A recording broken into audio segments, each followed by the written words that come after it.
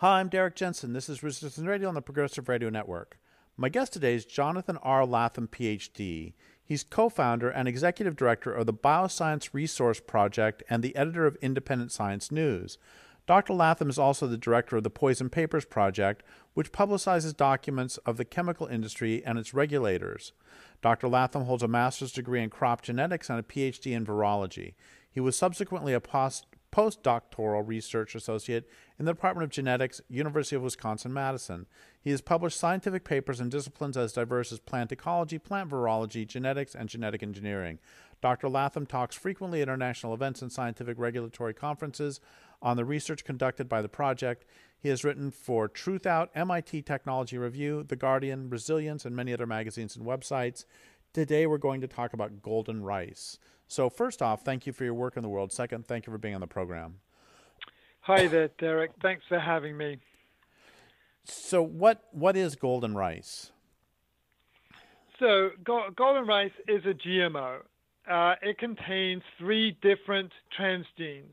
Uh, one is an antibiotic resistance gene, which is basically irrelevant to its GMO properties. It's just there to to help developers detect uh, the the product basically, because you can't, you know, if you're growing it in tissue culture, you can't find uh, identify cells that have been uh, manipulated. And then it also has uh, a gene from maize and a gene from a bacteria in it. So these are basically intended to modify the endosperm, the actual grain that you, you know, if you buy white rice, the bit that you, the bit that you buy, to modify that so that it produces from uh, components of the grain, uh, beta carotene, which is provitamin A, and that uh, concentration is then elevated in the grain, and the the idea is that that will produce health benefits. So people will be able to uptake vitamin A from white rice, basically, and so the rice the rice ends up being a slightly golden yellowish color. And so first off, why why from their perspective is that good, and why from some people's perspective is that bad? Mm. Well, th- this is a pretty deep question because because it goes into the kind of the questions of what kind of agriculture do you want, and the the the idea of the proponents is that you know there's a lot of poor people, impoverished people who are basically eating white rice, and that's all they have to available to them to eat for the most part. And so what they need is uh, is vitamins to go with that. And so their idea is that they can uh, can offer a solution, which is to to add this vitamin, vitamin A, to rice, and therefore improve the the, the nutrition of these people. The the concern of people who are not proponents is twofold. So one is that uh, basically there will be health consequences to this. You know, the the rice, for example, vitamin A is beta carotene, and beta carotene is closely related compound to uh, to to some that are basically quite serious toxins. So retinols and things like that are toxins. So, so we have uh, various reasons, apart from it being a GMO in the first place and, and kind of unregulated or semi-unregulated uh, manipulation of the genome, uh, there are actually sort of sound scientific reasons to be concerned about the health consequences of this rice. But the, in a way, the deeper question is, you know, do you, what kind of agriculture do you want in the world? Do you want the kind of agriculture where everybody uh, where farmers grow monocrops and consumers eat, you know, processed rice and, and white rice and, and monocrop type diets uh, that are basically controlled by the agrochemical industry, right? This is basically, it's a, it fits into a model of agriculture that is not diverse, that is not local, that is not, uh, that is not sustainable, that doesn't involve farmers growing more uh, greens, more carrots, more root crops, and so forth. You know, the history of the history of Asian agriculture is that it's been the Green Revolution basically extirpated all these other crops that were grown at the time in the you know historically grown you know greens and weeds and all kinds of different food types that people used to eat in these crops were basically pushed out in a big kind of effort to to push farmers into growing rice and only rice and only these hybrid varieties of rice and so forth. And what what the people who are concerned about the push for for vitamin A rice, golden rice, uh, is basically that this is a furtherance of that kind of corporate monocrop agenda. Wait, let's let's back way way up, and um, there are those who argue that um, that agriculture really originated in the in China and not in the Near East with with with various grains there, but instead with with mm-hmm. rice. Mm-hmm. And so when I think about Chinese agriculture, honestly, I think about rice. And so mm-hmm. what you're suggesting is that rice was a staple, but not, but the, but, but, and I don't know this, but was, mm-hmm. was agriculture pre 1950s in mm-hmm. Asia, was it fairly diversified? In terms of, like well, you're saying, it, it there was were the. much more, yeah. Yeah, it was much more diversified. You know, people people used to eat insects that grew in the fields in the rice paddies, for example. People used to eat fish that grew in the in the paddies. That that uh, so basically you can have you can have all kinds of different species in those paddies, but you can only have them, for example, if you're not spraying vast quantities of pesticides on them.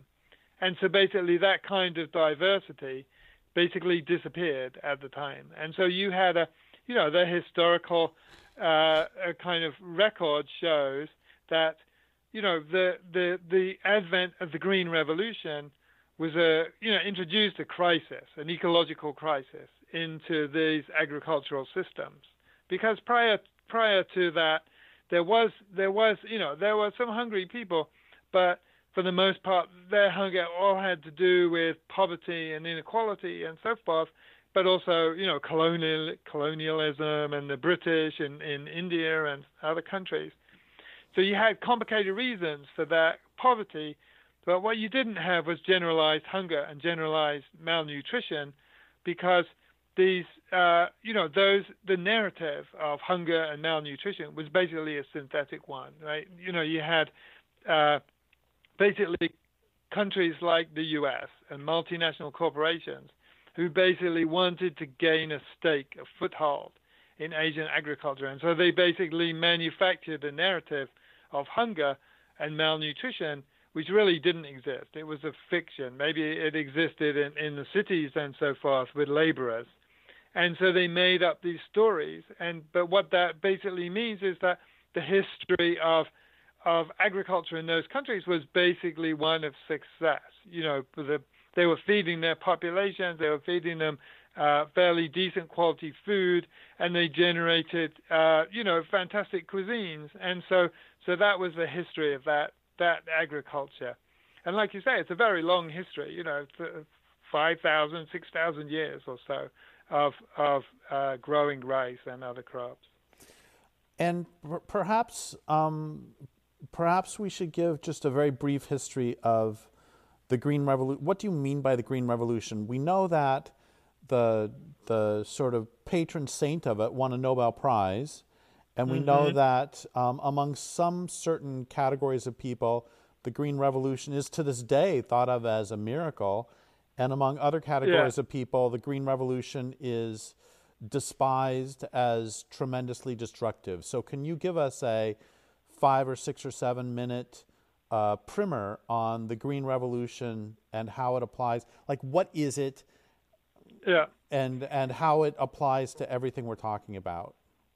Yeah. So so briefly, you know, the Green Revolution began in the minds of the Rockefeller Foundation, right? So the Rockefeller Foundation sent uh, agronomists to Mexico, and in Mexico, what they had this is in the 40s, right, during the war they had basically a fairly productive peasant type agriculture in which all the citizenry basically lived in the countryside and were relatively self sufficient.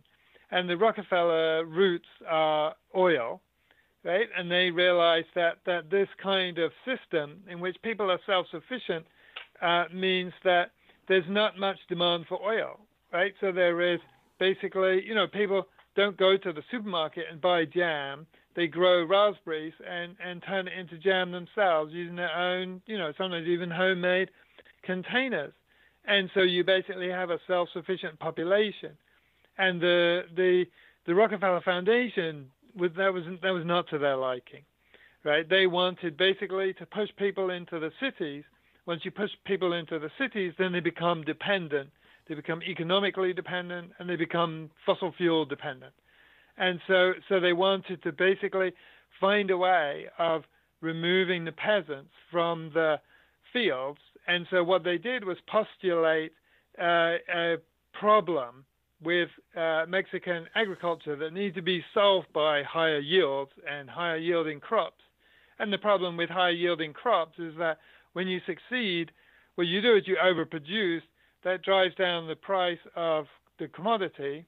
In this case, it was mostly wheat. And that's how the, the Green Revolution started in India, by the way. It was still a continuation of this wheat project.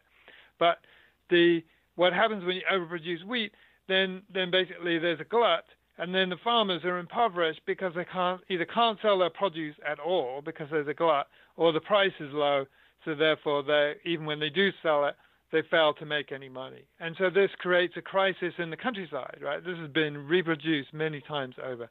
You, there's a crisis in the countryside because of a glut of agricultural produce, and so basically people go into debt. People have to leave their land because they can no longer make a living. You know what ends up the you know the, the economy transitions from being one in which you know people with small areas of land are quite self-sufficient and quite solvent uh, end up being impoverished and and uh, and and basically uh, unable to sustain their lifestyles. And so this is what the the the Rockefeller Foundation wanted. And so once they kind of perfected their model in Mexico, they then synthesized the idea of a of a food shortage in India, and there was, uh, you know, in the early 70s, there was uh, there were some, uh, you know, bad, relatively bad harvests in India, and so they turned this narrative into a one of looming food crisis and looming impoverishment and looming uh, global catastrophe. You know, you might remember Paul Ehrlich and his you know gloomy predictions of how we were going to end up in a in a world with people eating each other and so forth. So he was making all these predictions, and so were lots of other people. And but this was a narrative created by the U.S., a narrative created by the Rockefeller Foundation, and and you know the side issue for them, of course, is that once the peasants have been pushed out of agriculture, then agriculture you know, traditional agriculture, which is self-sufficient, agroecological, organic, and so forth, can be replaced by farmers who use pesticides, farmers who use machinery, farmers who use fertilizers, all of which require a massive amount of oil as well. So, so this was their their kind of model for how things were supposed to go in agriculture, and so so the idea that uh, you can kind of complete this process through the development of golden rice is is basically because you know the corporations, the corporations that moved in to take advantage of all these these peasant crises and rural crises, basically they still don't have full control over the agricultural system. They can't, they don't have uh, farmers all growing hybrid rice, for example. So hybrid rice has to be re rebought every year. Seeds, farmers don't save their own seeds. Old-fashioned varieties go out of existence, and so on and so forth. So they still don't have full control over agriculture, and so so the companies still would like that. And so this golden rice basically is another is another way for them to to to sort of cement their control over the agricultural systems of of Asia and other places because because you know one one of the very important um, uh, kind of background stories of all this is that you know we have GMO corn in the U.S. We have GMO cotton. There are various GMO crops, oil seeds, and so forth, but there is no GMO rice anywhere in the world, and rice is the crop grown more than anything else, and it, that feeds more people than anything else, and is a potential revenue source for agribusiness. But at the moment, no Asian country, you know, firstly, there's been no great idea, you know, no great technological breakthrough of a of a reason to grow uh, GMO rice. But equally, the Asian countries don't want to be first to to be the ones who introduce GMO rice because once you introduce GMO rice, other countries can basically block your imports, for example, because they can say, well, we don't want your con- contamination with your GMO rice because it might be dangerous, and so on and so forth. So there's been a total reluctance on the part of Asian countries to introduce GMO rice. And of course, this upsets the biotech industry, it upsets agribusiness, it upsets the chemical industry. And, and so they really want there to be a GMO rice. And this is their, their, also their foot in the door of turning rice production into GMO rice production. So early on, when you were talking about the, the early history of of this, I was thinking about uh, in Mexico. I was thinking about mm-hmm. apartheid actually, because the laws of apartheid were put in place for much the same reason, in that the mines had a problem, and that was people lived in self sufficient communities. And the first laws of apartheid, many of them had to do with uh, trying to get people into a cash economy because if they live in a subsistence economy and self sufficient community, there's no reason for anybody to get a job in a mine because that's just basically going to hell. And so they would pass hut taxes, dog taxes, poll taxes, all sorts of taxes because these taxes had to be paid with cash and mm-hmm. therefore somebody somebody has to get a job. So it seems to me that it's this, and I'm not specifically comparing GMOs to uh, to uh, apartheid, but I'm saying that they both mm-hmm. both of them both the Green Revolution and apartheid spring from that same need for uh, those in power to disallow self-sufficient communities. Mm-hmm. Yeah, no, I wasn't aware of that analysis, so that's very interesting. But but it is, you know, in many ways, the story of agriculture and the story of politics is is trying to make people into dependents when they weren't dependents before. Yeah, I mean the the long history of of civilization, if you like. Yeah. Well, one more thing. As long as we're going to go that direction, um, I'm back in my 30s. I read this exchange between an 1830s pro slavery philosopher in the United States and his northern abolitionist buddy. And they, uh, the pro slavery philosopher argued that um, the uh, that there are land ownership conditions in which it's in the slaver's best interest to own slaves, the capitalist's best interest to own slaves, and land ownership conditions in which it's in their interest not to own them. And it's really simple. If there's a lot of land, that means people have access to land, which means that they have access to food, clothing, and shelter, which means they have they, they won't work for you except at the point of a gun, which means you have to enslave them. But if you can make them dependent upon you, like in a city, then um, when you said they were dependent on oil, dependent on all this other stuff, I was thinking, yeah, and they're dependent especially for food, which makes everything else possible. Mm-hmm. Yeah, yeah. So, so there, you know, there are people among the elite you know, who think quite explicitly along along these along these lines. Yeah. So, is there is there uh, significant grassroots? Uh, I'm not talking about governments or NGOs at this point. I'm talking about actual farmers. Is there mm-hmm. significant um, popular uh, opposition to uh, the golden rice uh, throughout Asia?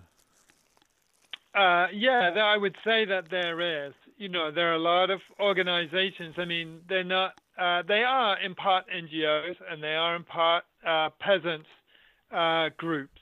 You know, all over all over Asia, there are very large peasant groups. You know, there's millions and millions, hundreds of millions of peasant farmers, and many of them are very uh, influential in their own countries and and also very activist in their own ways and so so they are you know those those groups and we have the the article we published is basically a statement from uh, you know, the reason you you contacted me is, you know, we published on our Independent Science News website a statement from those uh, those peasant groups and NGOs, and you know, it's totally a coalition, really, uh, from all, over Asia. You know, from Sri Lanka, from India, from Nepal, from Philippines, uh, Indonesia, Bangladesh, all kinds of countries, uh, or in in which you know these the peasant farmers recognize golden rice as being a threat, and they see, uh, for example, the whole research program of um, of making of kind of there's a the UN is the centerpiece of a sort of rice breeding project, a rice breeding institute. There's one in the main one is in the Philippines near Manila, called IRRI, International Rice Research Institute, which is basically now being funded by the Gates Foundation to to generate this golden rice. So the golden rice basically started out as a project of Syngenta, and Syngenta's um, uh, sort of offshoot non-profit uh, foundation. And, and didn't the, Syngenta transferred? Yeah, didn't, yeah. Didn't Syngenta? Isn't that the name that, or is this a different company that Monsanto used to be? No, Syngenta is now part of Chem China, but they are British, basically okay. agrochemical company. So they're the one of the European equivalents of Monsanto. Okay. So you know there are only three huge uh, agri kind of chemical companies left, and and Syngenta uh, Syngenta is now part of ChemChina, and that is that is one of them.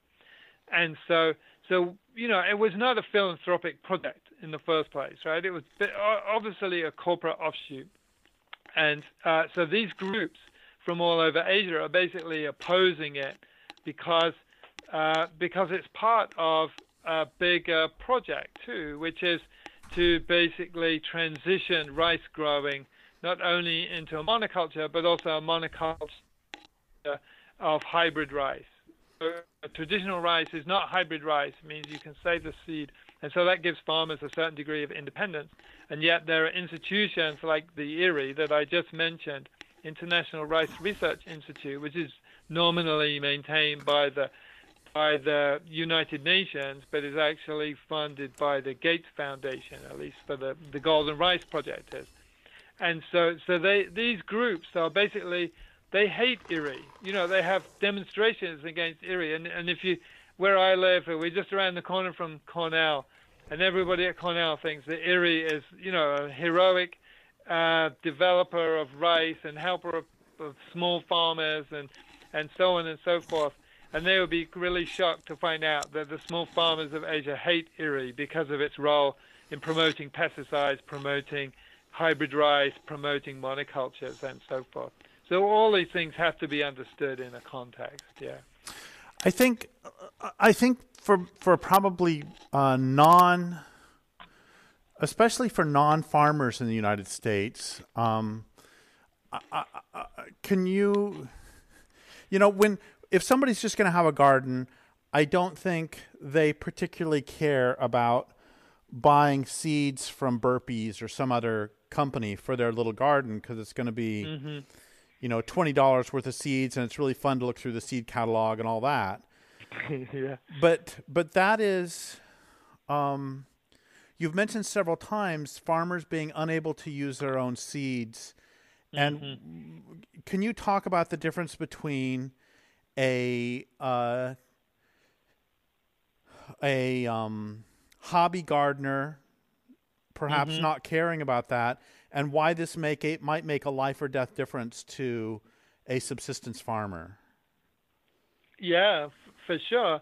I mean, the you know, firstly, seed is a major expense, right? If you can't, or if you can't, or won't, or don't save your own seeds, seeds can be a big expense. The farmers, farmers in India, for example, who grow cotton, uh, they plant their cotton too far apart because the seeds are expensive, and then they don't get the yields that they that they hoped for, and so they end up losing money on their crops.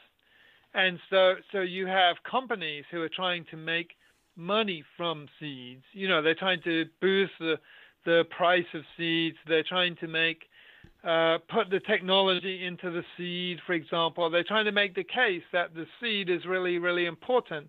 And so what they do is they do things like they discontinue varieties that that people can save, for example.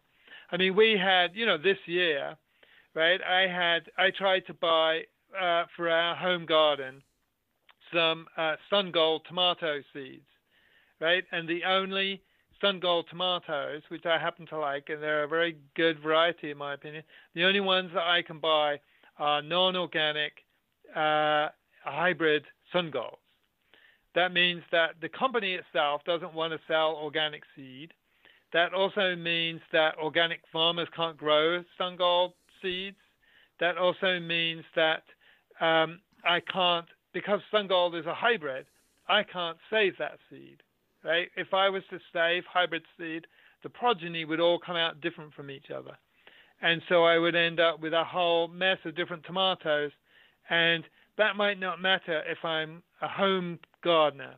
But if if I end up, you know, having some tomatoes that are bigger and some that are smaller and some that are less orange and some whatever, then I, it's hard for me to sell my produce, right? It's hard. It can be hard, for example, also if you grow rice and some, there's different races.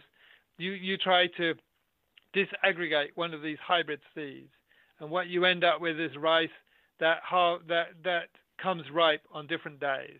That means you can't go through with the machine and harvest it all in one day. So you've got all these genetic complications that basically are built into the rice that cause the farmers not to be able to save their own seeds.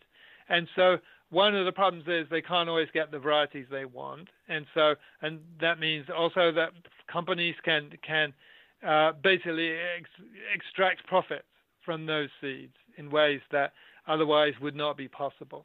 So you've got this kind of whole control game going on in the world of of seeds. And so people don't, you know, home gardeners don't necessarily see this. They see annoying things like what happens with with with uh, sun gold tomatoes that you can't find the types you want. You can't get them as organic seeds, so on and so forth. But this really for many farmers. You know, they can't grow. They can't, if they can't get the corn they need, or they can't get it to be non-GMO, then they have to spend a lot of money on the on the seed. So you've seen what you've seen in in American agriculture, for example, is in the last 20 years, since uh, GMO has taken over agriculture, uh, you've seen huge increases in the price of seed, and you've seen huge consolidation in the seed industry. So you've seen two, basically two things. You've seen less availability of seeds. You've seen huge increase in prices of the seeds that are available, and uh, and a consolidation of the the, the seed chain which means that there aren't there aren't choices. But but the ultimate you know the ultimate driver of all this is Monsanto profits, right? Those companies, Monsanto and Bayer and Dow, have reaped huge profits from those. You know, you see their stock prices; they've gone gone through the roof because they're reaping huge profits from these monopolistic practices. So this is the kind of you know the the Sun Gold tomato story uh, is kind of writ large in American agriculture, and this is what the farmers of Asia are concerned will happen if golden rice goes through. You know, so there's this kind of bigger picture story behind behind the whole thing of what happens when you get corporate control of agriculture. You get high prices and low choices, and so farmers, you know, who are already suffering because of the low prices of their produce because they're being forced, in a sense, to overproduce then squeezed at the at the buying end of the process too. So it really is important for these farmers that things like golden rice doesn't go through. So an, another problem, it seems to me, and let me know if this is not a problem, is there was a person brought me to do a talk in uh, Western Illinois many years ago, and this person absolutely loved prairies and uh, w- worked on restoring prairies. And he was very much a purist that he didn't like to bring in seeds from the same species when he was restoring a prairie. He didn't like to bring in seeds from, say, 100 miles away because he felt very strongly that the local plants had adapted to very precise local conditions. And the way I'm gonna, the way I'm going to bring this back to rice is traditionally, and I'm ignorant on this, um, so you can tell me. Traditionally, wouldn't rice variations also have been extremely localized through uh, through six thousand years of selective selective breeding, essentially, so that in Mm-hmm. when a rice grower in Korea, in no, not Mm-hmm. Korea, when a rice grower in coastal Korea is growing, Mm-hmm. they're going to probably plant a a rice pl- a rice seed that is adapted to the local microclimate, the local everything, as Mm-hmm. opposed to somebody in India or somebody. Well, again, India is kind of pointless because it's everything from desert to to to deep forest. So you know, in this particular location, in this particular um, um, rivershed uh, or watershed of India, and so isn't this also? Uh, I mean, isn't there a reason for these? There a reason that these different uh, strains were developed, and isn't that also a tremendous loss to the local farmers to lose the locally adapted seed? Uh, yeah, I would I would say this. You know, the person the person who knows most about this uh, that I'm aware of, his name is Debal Deb, D E B A L D E B. He had an article in the Smithsonian magazine, uh, but he's also written for our website. Um, but his Smithsonian article is really good about this because because he describes, for example, how uh, you know there of course there are geographical variations in rice. You know they have rices, for example, that resist the salinization, rices that resist drought, rices that that uh, you know take grow in short seasons and long seasons, and you know so basically historically farmers would grow all these different kinds of rices, and they'd all be separate from each other, and they'd be saving seeds, and they'd all have you know different values to the farmer, but also these rices that have different values for all kinds of other reasons too. So they were there were rices grown for medicinal reasons. There were rices grown for uh, specific dishes, you know, like equivalent of arborio rice or whatever. There were rices grown for certain, you know, um, cultural events. There's a thousand reasons to grow different kinds of rice, and everybody, you know, everybody takes their rice very seriously. Uh, you know, in the same way in in England, we we have all these different potatoes that we use for, you know, we use different potatoes for jacket potato, different ones for deep frying, different ones for mashed potato, different ones for roast potatoes, and so forth.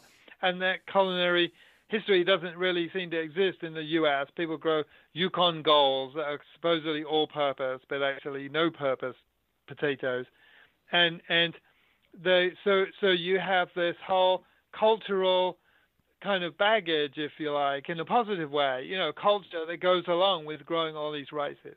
So, you know, what the what the IRRI and and all this, you know, the kind of corporatization, hybrid rice, all these different um, agendas that are going on in in Asian agriculture, basically are, are also erasing all these cultural traditions and all this resilient types of rice, for example. And so, so you've got all these, you know, all these complications that go with it's not just simply introducing short-grained, high, high-yielding rice. This is not, this is not really a proper understanding of what's going on. There's a whole, there's a whole cultural thing that goes on with that. So, so for example, uh, you know, the the it's considered there were probably a hundred thousand different rice varieties uh, in India, for example, alone. And so that's like there's a trem- tremendous amount of biological and cultural diversity represented there. Okay, so I'm going to ask you a couple questions uh, that are going to be really snide, and they're from the perspective of of a very pro GMO type perspective.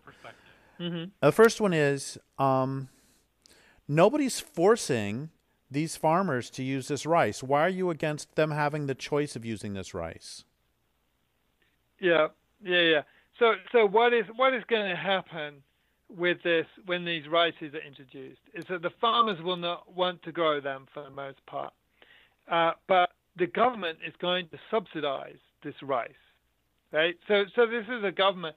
These governments like Bangladesh that that have shown negligible respect or interest in their small farmers. Uh, all of a sudden, subsidizing them to grow a GMO rice, right? So, so you know, in a sense, you're going to be forcing these farmers to grow the rice because in some cases it will be all they can afford to do. So, so you've got, you know, you've got a, uh, you know, the the choice. is not going to be a free choice. The the second thing is that uh, that one of the major major problems with GMOs is that it totally obviates the whole uh, polluter pays principle, right? So we have a kind of, you know, it's not a very uh, well enforced principle, but the kind of one of the ideas of companies making polluting products in the first place is that there's a sort of vague hope that they will pay for their pollution uh, when they produce it. And in the case of rice, what's going to happen is the rice rice rice is grown by other people will be contaminated by this golden rice. Right? So if this golden rice turns out to be harmful, if golden rice turns out to be of low value, or if it turns out to damage the yield, or if it has or any any one of a very large list of uh, highly probable uh, defects, what's going to happen is they're going to contaminate everybody else's rice because it's wind pollinated crop, right? So, so the pollen is going to be growing all over the countryside. And so this has become an issue, for example, uh, in uh, in maize growing in in Canada. Basically, organic farmers can no longer grow maize, uh, not maize, um, uh, um, mustard in in uh, canola. In uh, Canada, because every time they try to grow it, their crop becomes pollinated uh, by by neighboring GMO fields, right? And so they're no longer valid as as organic products. And so so this is what's going to happen in in rice. This is totally a reality of GMO agriculture, that it basically basically uh, basically it's not a it creates a situation in which GMOs are not what you know what the proponents like to call the tool in the toolbox. They're basically the tool that drives out every other form of agriculture, and part of it is through pollution, and part of it is through price advantages. You know the history of of introduction of GMOs all over the world has basically been that government subsidize agriculture or or partially subsidize agriculture or set the framework for agriculture and what they've been convinced to do by by multinational corporations is provide special breaks for GMOs, right? So, so for example, the USDA has a program.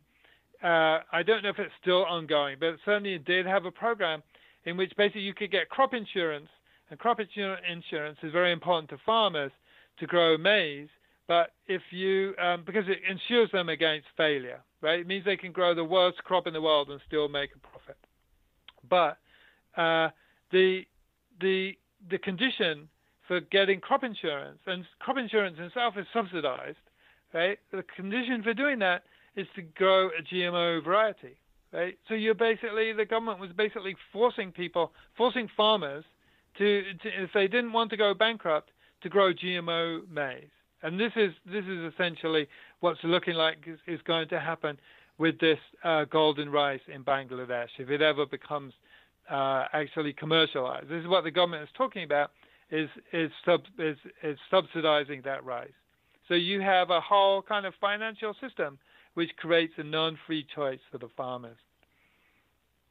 So my next, thank you for that.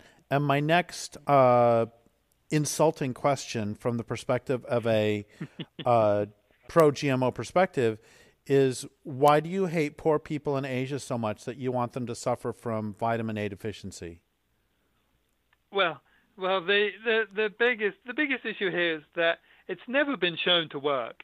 Right? No one has ever shown that you can take the diet of an impoverished person and substitute the white rice that they're already eating with this rice and improve their health. Right? There is there is no evidence for that whatsoever.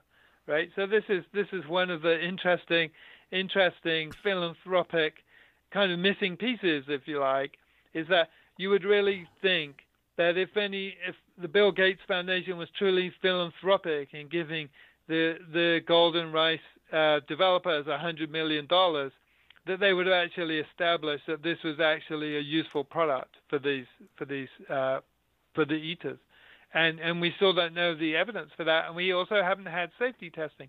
So as I mentioned, there is a uh, there is there are good scientific reasons to be concerned about the uh, the safety of this product, and so so you know what what I'm concerned about is that you are basically using poor people as guinea pigs, right? In this instance, those poor people will be offered this rice. They won't understand any difference between that and, and other rices, and they will assume that their government has their best interests at heart, and so they will they will consume this rice, and and it will turn out to be either untested or actually unsafe for them, and and those are the people who can least afford, uh, you know, health consequences from uh, from uh, defective products. Um, so okay, now now that we're done with the with that direction, I want to go a, a, different direction. We're we're just about to start winding down. We have about mm-hmm. s- seven or eight minutes left. Um, I want to bring in what seems to be the thesis, or not the thesis, but the overarching uh, principle of everything you've said today is a line by John Mohawk, uh, which is um, there is no sovereignty without food sovereignty. Mm-hmm. And so, can you comment on that as as it has to do with what we're talking about today?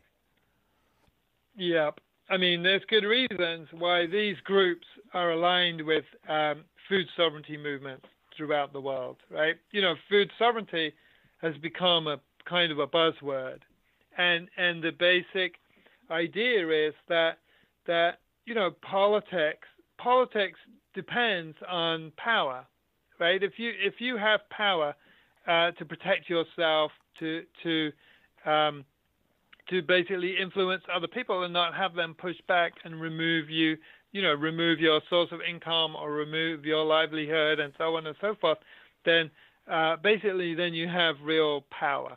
And you know what we've observed time and time again is that people who are in paying jobs have, you know, their power depends largely on their union representation.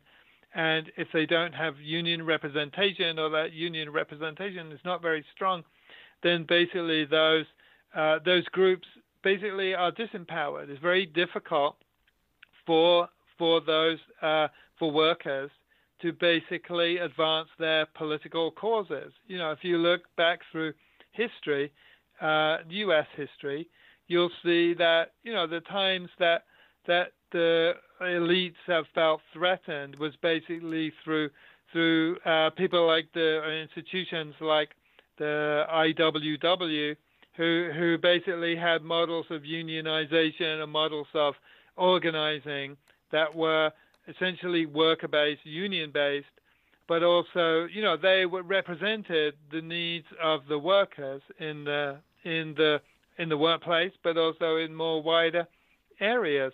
And so, so what uh, you know, the the basic kind of argument is that you know Malcolm X said that I forget the exact quote, but basically power only only respects power. Right? That was his his basic premise, and I agree with that. And so basically, if you don't have the power to push back against your government, they will steamroller you. If you don't have the power to push back against these multinational corporations, they will basically steamroller you. And so the whole idea of food sovereignty is that you know the most basic form of power is to be able to feed yourself, house, house yourself, uh, and and be kind of um, sovereign, at least in your own piece of land. And this was, um, you know, Thomas Jefferson's and various other people had these ideas of democratic uh, democratic land land ownership, in which, for example, you know, if you if you go back to Britain in the 1800s, the whole idea was that that only landowners could vote, right? That was one of the the kind of founding principles of the of of early democracy in Britain, and the idea of it was that you know you you didn't really have a vote, you didn't really have any political power if you didn't own land, if you didn't have a, a, a sort of home base in the country and so forth. You essentially your political power was basically meaningless, and so so the um, so that was you know it's been a, an idea that's gone back uh, a long way in history that that if you don't own land and you don't have access to food, then you really don't have much sovereignty in the world. And so so people have kind of looked to unions and looked to other institutions, but usually unions to kind of remedy that power problem. But the limitations of that are also quite obvious. And so the idea of food sovereignty has been that that you know this this is a more fundamental idea of power and and you know the history, for example, of the civil rights movement in the U.S., for example, was that uh, you know black farmers had more power than than black non-farmers, and that civil rights activists would be sheltered by by farmers and landowners uh, and given you know uh, a place to live and and the ability to grow their own food and so forth. They had basically uh, you know, the land offers opportunities. The food, be able to grow your own food, offers opportunities for personal resilience, which translate into political power. And so this is something that that the left in, in the U.S. and many other places doesn't really understand. That you know, I've written I wrote an article quite a long time ago now about uh, the food movement being the the true kind of organizing principle and basis of political power in this in this country, and and and the arguments are still good. You know that that that essentially food and land are the basis of power, and if you if you want to to to really make change in the world, then you have to respect that principle. But also, that means grabbing hold of food and grabbing hold of power. And some of that has to do with seed power, right? Be able to buy seeds, grow seeds, save seeds that you that you want and and not the ones that you don't want, for example. So I'm thinking a couple things. One of them is that Kropotkin said that so many revolutions have foundered because of bread, because if you can't feed yourself, he's saying the same mm-hmm. thing you are. If you can't feed yourself, then your revolution's going to stop in 60 days because you starve to death. And mm-hmm. Mm-hmm. the other is, you know, nothing you're saying is news to every military leader who has ever existed because what was one of the first things that the North did to the South in the American Civil War is institute a blockade. What did they do and what did the British and everybody else do in World War One and World War Two to the Germans? Institute a blockade. And and why? Because of exactly what you say. If you can't feed your populace, if if the populace can't be fed, they can't continue. Mm-hmm. And if mm-hmm. you can't feed yourself, yeah, yeah. I should say. Yeah. Yeah, I mean we we we we teach ourselves a lot of interesting lessons, right? I mean we have we have school school um, classes in which we talk about you know all these great historical events, but basically we teach this kind of narrative of history that's impoverished in in terms of talking about power. And so, like you say, we talk about World War World War One, for example, as being about you know battleships and weapons and radar and so forth and all these things that are not, not radar is not World War One, but but all these technologies that are not really uh, available to ordinary people, and yet the the basic dynamics of what goes goes on in those struggles are very very uh, very clear. You know, you have the the the conquering nation conquers a country you know, for example, the German, you know, when the when the when the when the British and Americans invaded uh, Germany after the Second World War, the population at the end of the sec- Second World War, the population was starving. The same thing with the the First World War. So you've got all these wars that ultimately are really decided as much by food and and these kinds of issues as they are by weapons and and other reasons. Yeah, yeah. So the last two questions, or they're, they're combined, is how can somebody um, who care who cares about this at all support your work, and how can they support the work of all of these tremendous organizations? Well, actually, before we go there, I'm going to say mm. the, hmm. the article, the, the press release was independentsciencenews.org slash health slash, and there's hyphens in between words, why we oppose golden rice. So, how can they support your work and also um, the work of all these tremendous organizations the Alliance of Agrarian Reform Movement in Indonesia, the Asian Peasants Coalition, um, the uh, a lot of these I can't pronounce, which is why I'm not saying them. Um, yeah. MONLAR yeah. in Sri Lanka, uh, Orissa in India. How can they, the Pesticide Action Network Asia Pacific, how can they support uh, any of these organizations? Yeah, I mean those those organizations could use money for sure. The the um, you know, and it is possible to you know if you contact if people contact me or they contact uh, I'm not even sure if the Stop Golden Rice Network has a website, but I can certainly uh, put people in touch with them. And a little bit of money probably would go a long way. You know, it's these are these are countries where where money goes further than, than in the U.S. And uh, you know, in the in the same the same thing applies to our um, independent science news and our non-profit.